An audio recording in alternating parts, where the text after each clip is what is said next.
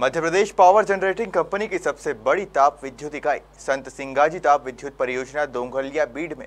प्रदेश के ऊर्जा मंत्री प्रद्युम्न सिंह तोमर ने अचानक शुक्रवार की रात पहुंचकर औचक निरीक्षण किया।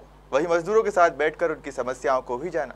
मंत्री प्रद्युम्न सिंह ने शनिवार सुबह ताप परियोजना के आवासीय परिसर में रहने वाले लोगों से भी समस्याओं के बारे में पूछा और अधिकारियों को तत्काल दिशा निर्देश देकर समस्याएँ हल करने की बात कही। वहीं सुबह ताप परियोजना में एक बार फिर निरीक्षण करने पहुँचे जहाँ कोल हैंडलिंग प्लांट के साथ ही अन्य जगहों का भी निरीक्षण किया और कमी पाए जाने पर अधिकारियों को सख्त दिशा निर्देश दिए हैं। पत्रकार वार्ता में मंत्री प्रद्युम्न सिंह तोमर ने कुछ सवालों का जवाब दिया।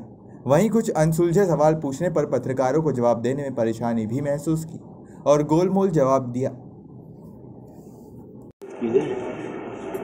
और वो भी अपना काम चालू कर दें। किसी मामले में एफ़ आई निर्देश भी सर देखिए,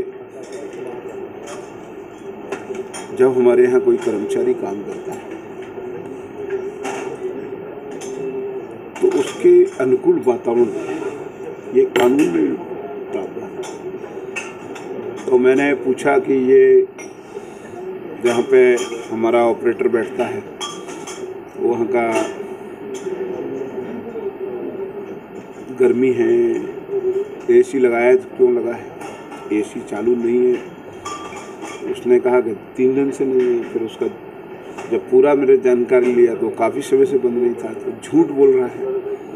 कर्मचारियों के अनुकूल वातावरण न बने। झूठ बोलना तो अपराध है। कमियाँ छिपाना है। तो मैंने निर्देश दिए हैं कि उसको खिलाफ वैधानिक कार्रवाई करिए जो बनती है। मंत्री प्रदेश में भी आप जहाँ भी ताप घर में जाते हैं या फिर किसी भी विद्युत गृह में भी जाके आप कर रहे हैं।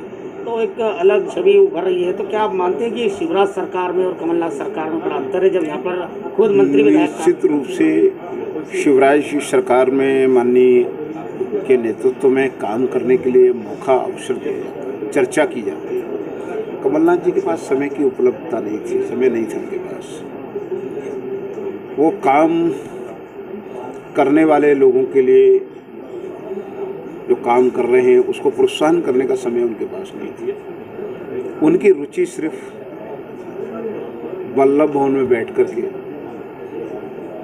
चंद ठेकेदारों के साथ के लिए समय होता था, आम जन के लिए समय नहीं होता था। ये अंतर है। अभी मंत्री जी औचक निरीक्षण हुआ है इसके बाद एक थर्मल पावर प्लांट है, इसको और भी जीर्णोद्धार